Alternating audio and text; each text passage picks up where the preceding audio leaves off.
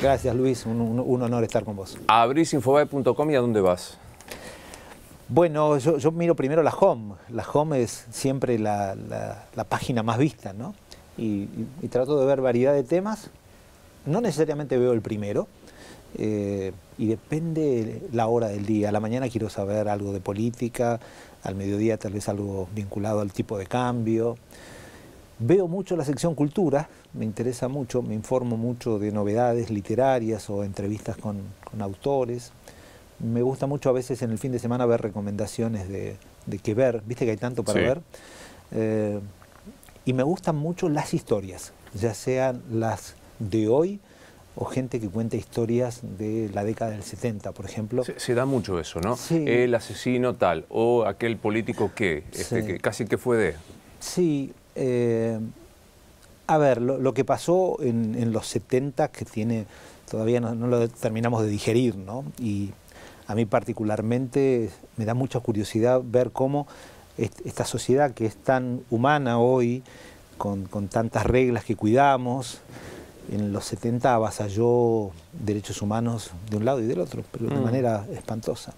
Entonces me da mucha curiosidad leer ese tipo de notas. ¿Qué, cambió de la home? Tomemos la home. Mm. ¿Qué cambió en los últimos tiempos? ¿Qué te sorprendió de ese cambio? ¿Hacia dónde viró mm. Infobae? Infobae fue hasta hace cinco años, seis años, principalmente un sitio de breaking news, de alertas, de último momento. Todo lo último que pasaba estaba en Infobae. No digo que hoy no esté, pero cada vez el concepto es noticias sí, pero más historias. Y después algo que aprendimos es que el qué lo da cualquiera. Y con el, con el mayor de los respetos, un señor con su cuenta de Twitter cuenta algo que puede ser una noticia lo que tiene que hacer un medio de comunicación, y eso intentamos todos los días en Infobae, es decir, más why que what. Eh, el por qué, por, qué pasó. Y la pretensión hacia dónde vamos es, bueno, ¿y ahora qué? Porque imaginemos, no sé, un, hecho concreto, una decisión del presidente. El, qué es qué dijo. ¿Por qué lo dijo? Bueno, ¿y qué consecuencias trae esto? Y ahí está el valor agregado de un medio de comunicación. Mm. Eh, pensá, tratá de hacer un target, que imagino que lo tenés estudiado, de el eh, visitante mm. duro, vamos a ponerlo en términos de grieta, el dogmático que está con vos, el visitante que oscila, que entra a Infobae o no, y al que te falta seducir. Dame perfil de esos tres visitantes. Mira, Infobae, nosotros no hacemos demasiado marketing de números pero es el sitio más leído en la Argentina hace ya un tiempo, más de un año o dos, y, es el más leído en habla hispana en todo el mundo, superando no sé, al diario El País, por ejemplo, o al diario ABC o La Vanguardia. Eh, con lo cual es muy difícil hacer un perfil de un usuario. Tenemos variedad de usuarios, tenemos un rango etario importante y nos leen de distintas partes del mundo. No es lo mismo el lector que lee Infobae México. A ver, quizás lo más importante que hizo Infobae en los últimos años fue abrirse al mundo, crear una redacción en, Ciudad de México. Muchos decían, ustedes están locos. Mm. Eh, hay medios de 100 años de historia en México, ¿cómo van a ir a competir? Y hoy somos, depende del mes, el cuarto o el quinto medio en México. Y después de eso, cuando nos sentimos estimulados, que nos iba bien, abrimos en Bogotá. Y hoy somos el quinto medio colombiano. Y es un medio colombiano, hecho por colombianos. Lo mismo en México. Todos mexicanos. Eh, y entusiasmados por eso abrimos hace 90 días en el Perú. Estamos en la ciudad de Lima, tenemos una redacción, gente muy joven, pujante. Es como que vamos llevando el método y vamos a abrir dentro de poco tiempo en Uruguay. Entonces es muy difícil definir un perfil, pero sí te diría que es muy difícil encasillarlo en una ideología. Cuando en alguna nota o cuando amigos me, dicen, che, pero ¿cuál es la ideología de Infobae? ¿Tiene ideología? Digo, a ver, primero, las categorías ideológicas en el mundo van mutando. Yo no sé si el concepto de izquierda o de derecha está vigente, pero suponiendo que sí, yo digo, a mí eso no me interesa. Primero porque tenemos una diversidad de, opiniones enormes. Escribe gente de la, izquierda izquierda y, de la derecha derecha, mm. o de los liberales liberales y de los conservadores conservadores. Eh, salvo en tres temas donde creo que hay una línea Infobae, que son tema de derechos humanos, donde creemos que no se puede ocultar una violación a los derechos humanos, la cometa quien la cometa. Da lo mismo que la cometa eh, un, señor de extrema derecha, no sé si viviese Pinochet, no sé, algo así, o un Videla, o, que lo cometa Maduro, o que el acto violatorio a los derechos humanos lo haga el señor Ortega, o el señor Canel, eh, o el señor Xi Jinping. Digo, cuando se viola un derecho humano no importa quién lo viola o dónde lo viola, en Infobae lo vas a ver. El segundo tema es que nos preocupa y mucho el cambio climático o el calentamiento global. Viste que hay una mm. discusión sobre cuál es el término correcto. Usemos ambos, sabemos de lo que estamos hablando. Es el único planeta que tenemos y impresiona el desapego de muchos ciudadanos del mundo haciendo cosas que le hacen mal al planeta. la minería a cielo abierto, etcétera, etcétera. El, plástico, eh, las baterías. Y, esa es una bandera que no, se negocia. Y la tercera es la diversidad de géneros, el respeto y, y, el valor que eso tiene. Creemos mucho en la diversidad. Mucha gente el otro día me preguntaba por qué intervinimos el logo mm. de Infobae en la Semana del Orgullo. digo, porque creo que hay mucha gente que hace 30 años que, marcha y se merece el reconocimiento de un medio. Es, chiquito, no, no, decimos nada, pero todos nuestros logos en redes sociales o en la home de Infobae eh, fueron intervenidos y, y, me pone orgulloso de que un medio, tal vez un medio con 150 años de historia le cuesta más hacerlo. Este es un medio joven y es joven aún hecho por gente grande. Yo soy un señor grande y, bueno, nuestros directores son más jóvenes que yo. Después otra cosa que creo que le da mucha vida a Infobae es que acá no hay techo de cristal. Eh, es un medio hecho por mujeres.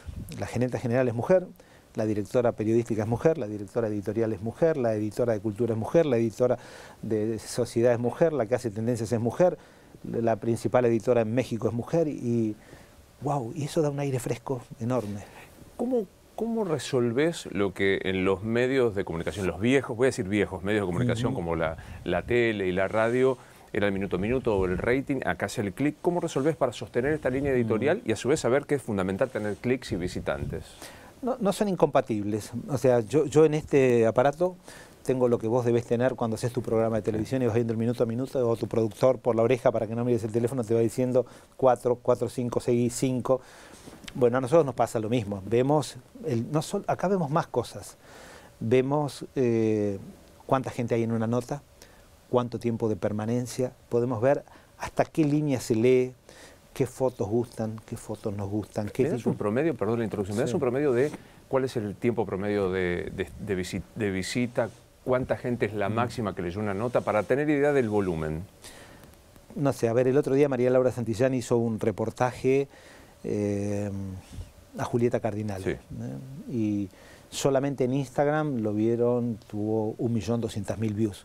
Le sumás las que lo vieron en Facebook y estamos hablando de un millón más. Y la nota la habrán leído en la home de Infobae medio millón de personas. Cuatro millones de personas, grosso modo. ¿Y, el, tiempo de permanencia promedio? De una nota política, 50 segundos. Mm. Hoy vi una nota que salió hace unos días. Eh, quise ver por qué tenía tres, vi algo con tres minutos de permanencia, que es mucho, y, era un argentino, matemático, mm. que que fue nombrado en la Academia de Matemáticas de los Estados Unidos como miembro activo y ahora vive en Londres y que vino y donó ese edificio magnífico que hizo la UBA o que él, financió para la Facultad de Ciencias Exactas y esa nota tuvo un promedio de lectura de tres minutos que es mucho tiempo. ¿Cómo te edita? ¿Es un editor saber que son 50 segundos? O sea, tus periodistas, ¿Se les advierte esto para que puedan escribir, hacer, teniendo en cuenta esto? No, no hay límite. Hay gente que puede escribir la, cantidad de caracteres que, quiera. Y un video, lo que sí pedís que, que sea atractivo desde el comienzo. Pero hay videos que duran 40 segundos y videos que duran 10 minutos. hay digamos, ¿Existe la competencia entre lo audiovisual y lo escrito? ¿Cómo lo resolvés? ¿Qué se privilegia? Todo se suma. No, creo que es clave tener todo. Hay que tener buenos textos, hay que tener buenas fotos, buenas infografías, buenos videos. Eh, uno tiene que aspirar a tener calidad en todo. ¿Se logra? A veces sí y a veces no.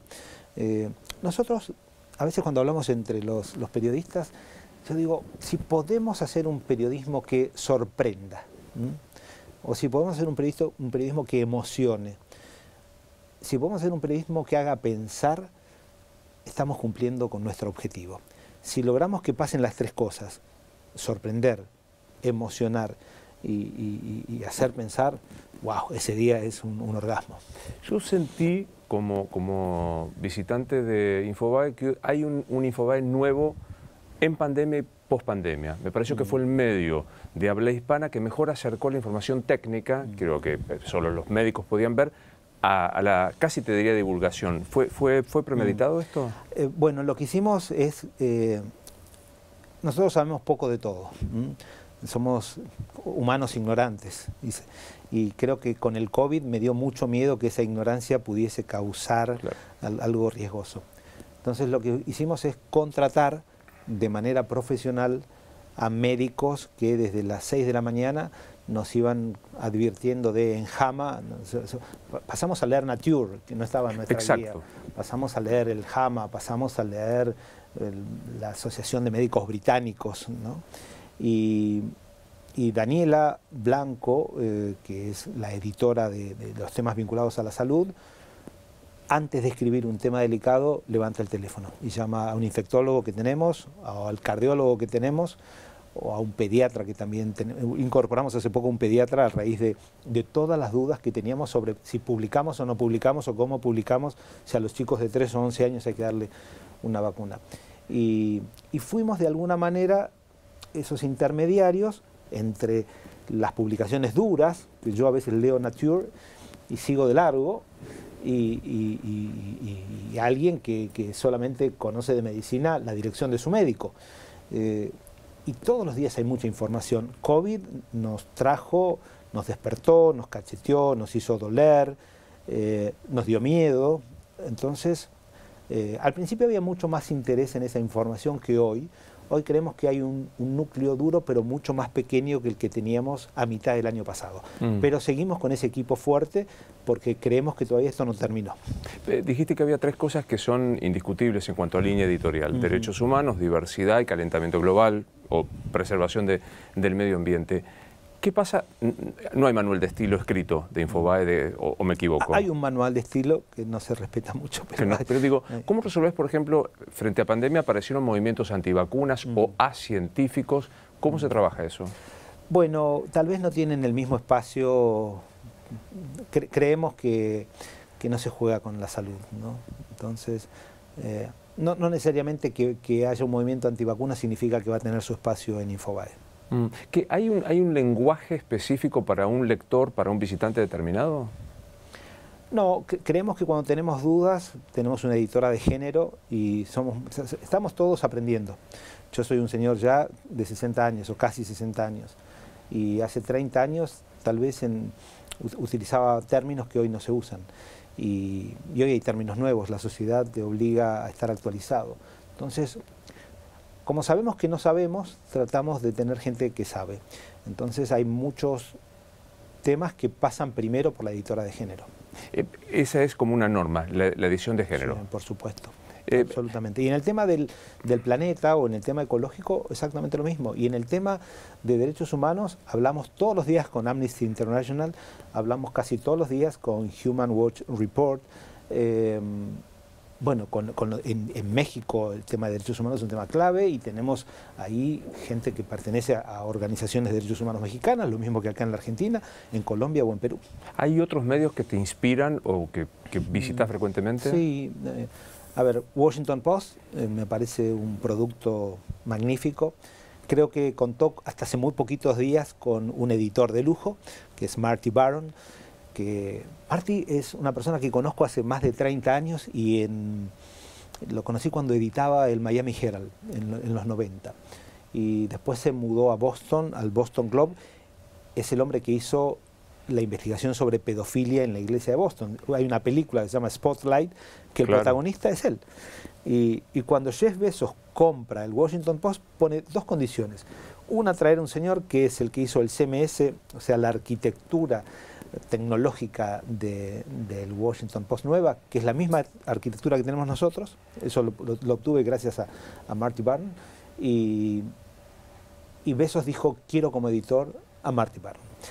Se fue del periodismo, yo espero que por poco tiempo, es joven, tiene 63 años, pero dice que está agotado. Mm. Viste que hay gente que le agarra a los 60 y dice, estoy cansado de tanto éxito. Ah. Entonces, eh, lo que él dice hoy es que la gente no quiere periodismo de información, sino que quiere periodismo de confirmación.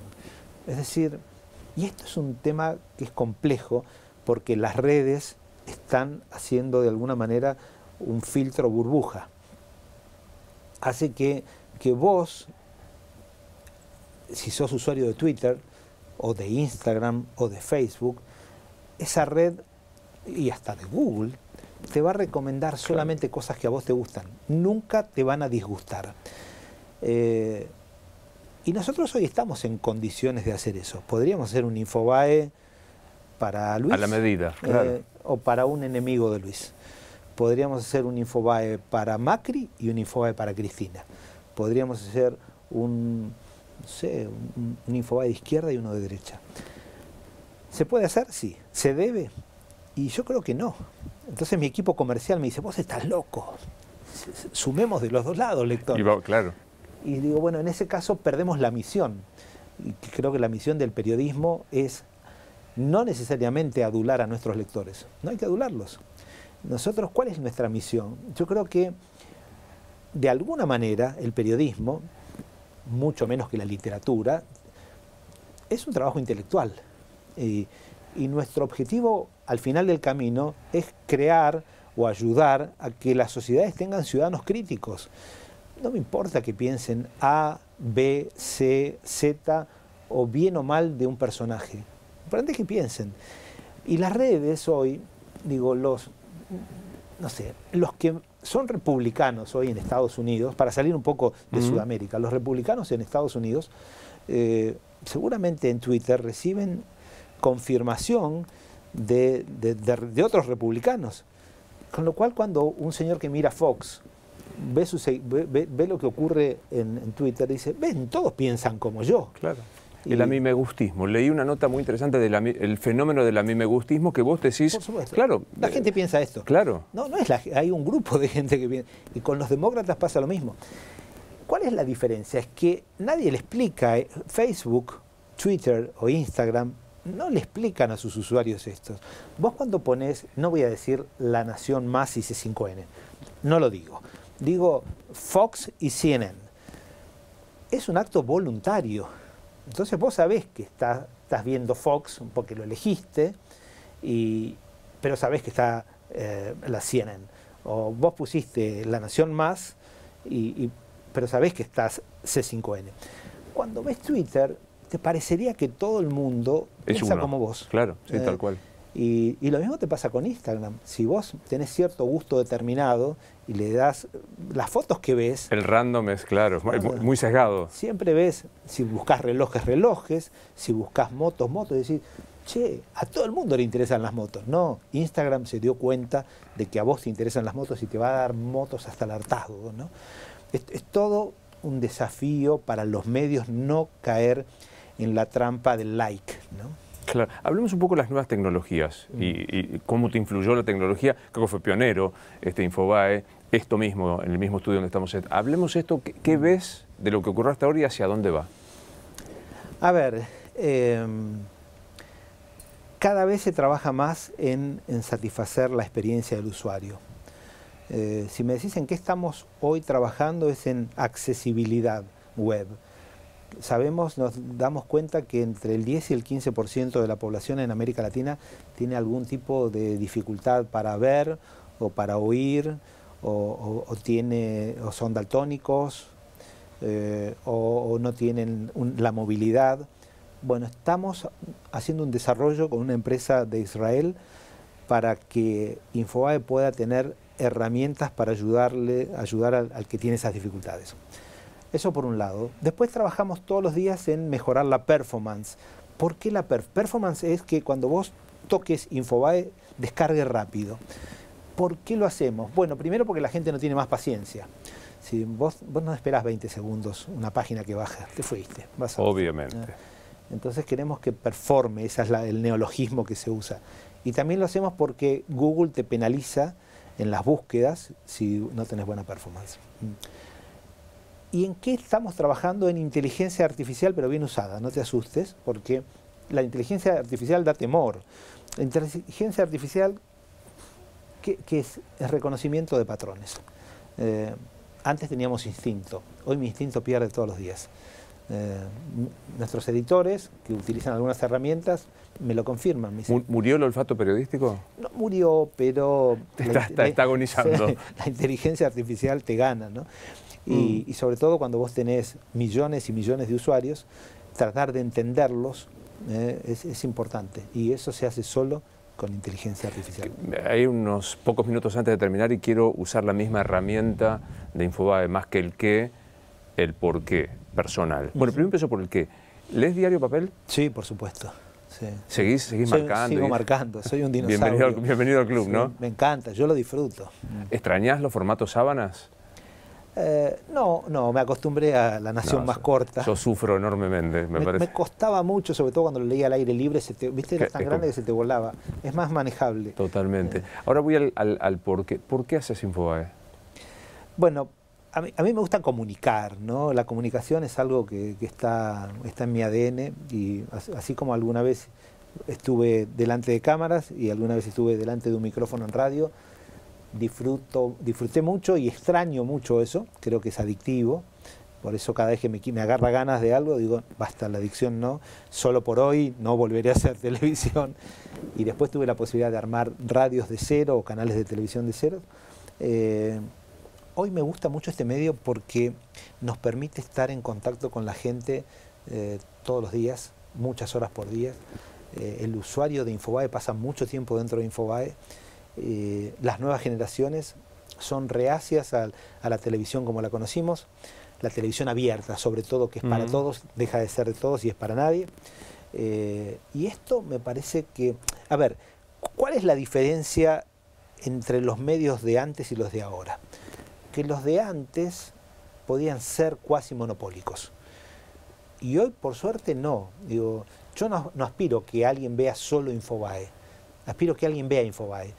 Y, lo ideal es que vea Infobae y que vea sus competidores acá, en Perú, en Colombia, en México, en España, y que si es posible lea en otro idioma más prensa, porque no está bien quedarse con un solo medio. Yo digo, eh, eh, siguiendo eso, ¿la expresión hoy 2021, casi 2022, medio hegemónico es arcaica? Absolutamente, no hay medios hegemónicos, hay muchos medios.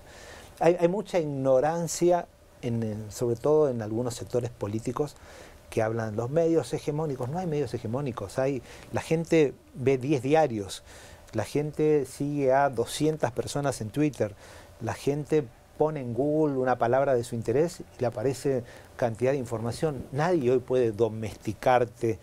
Si hubiese un solo canal de televisión, puede ser. Si hubiese una sola radio, puede ser la tecnología rompió O acceso filtrado a Internet, en todo caso. O sea, Puede pasar eso, que te filtre, pero ni siquiera un local te filtra. Si te filtra, te filtra un grande.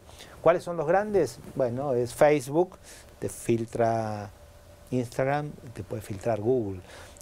y no lo hace a propósito, lo hace con un, no, lo hace con un objetivo ideológico para que, que, asuma Rodríguez Larreta o para que asuma Miriam Bregman, ¿no? No, lo, hacen por, otra cosa. ¿no? Dijiste, eh, los que trabajan en Infobae no sienten que haya techo de cristal. ¿Vos ves un techo de cristal para vos? Yo siento que entré en una etapa de la vida en la que todo me es más difícil, ¿no? Tengo mucha menos energía que en otros tiempos y, y mi velocidad mental no, no es la misma de antes. Entonces, hoy trato de empezar por primera vez a delegar más. Eh, confío en gente que, bueno, que, merece mi confianza, viajo mucho, eh, no intervengo en el minuto a minuto, Y, y sí soy, soy rompe en el sentido de no me gusta esta foto. Claro. Pero quizás en, temas estéticos y, o en temas tecnológicos. Sí trato de ser un mediador entre gente que se odia, entre ingenieros y periodistas. Es, es una lucha, digo, si la gente viese eso sería, es un reality, se detestan. Y, yo trato, sin ser tecnológico, porque mi formación es la de un abogado, y, estudié, hice mi posgrado en periodismo, y de tecnología aprendo todos los días. Yo dedico hoy aproximadamente una hora por día a leer temas tecnológicos. El, maestro de la entrevista, James Lipton, terminaba la entrevista siempre con, con, lo mismo y decía, ¿hay algo que no te pregunté que debería haberte preguntado? No, creo que es absolutamente todo, ¿no? Realmente pasamos por, por todo. No, no, primero gracias. ¿eh? Un placer, un placer verte. Siempre un placer hablar con vos. Eh, Infobae dentro de 20 años va a ser. Es al revés. ¿Va a ser? Es la pregunta. No sé si va a ser. No sé qué va a ser.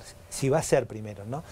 Parece que el mundo está viviendo un tiempo exponencial. El conocimiento se duplica cada vez en menos tiempo. Eh, es muy difícil, nosotros nos tenemos que adaptar todos los días, con lo cual pensar 20 años no... Es como en el ajedrez, ¿viste? Que las personas que tienen un elo eh, más alto tienen la capacidad... Yo soñaba con ser ajedrecista. ¿Por qué no, no pude ser ajedrecista? Por mi límite intelectual. Ricky Sarkani pudo haber sido uno de los 10 primeros del mundo y dejó a los 23 años con un elo de 2300. Eh, Ricky es una persona que, digo Ricky porque es un ajedrecista conocido, no sé si la gente lo sabe. No, yo no lo sabía. Ricky es una persona que puede ver las próximas 22 jugadas. No una, ni dos, ni diez, ni dos, 22 jugadas. Eh, un campeón del mundo puede ver 38 jugadas. Eh, una máquina ve todas las que te imagines. Yo nunca superé las 10 jugadas, entonces ahí fue mi límite, mi, techo. Con lo cual pensar en 20 años es pensar en 100 jugadas, no, no me da. ¿Puedo pronosticarte eh, los próximos 12 meses? Sí, ahí no creo que me equivoque mucho en esta industria. Tal vez en política la pifio porque la, vengo pifiando. Bienvenida a la Argentina. Eh, sí, no, me, me, vengo equivocando. Pero bueno, también vengo aprendiendo, que me gusta. Un placer verte. Gracias, Luis, un placer.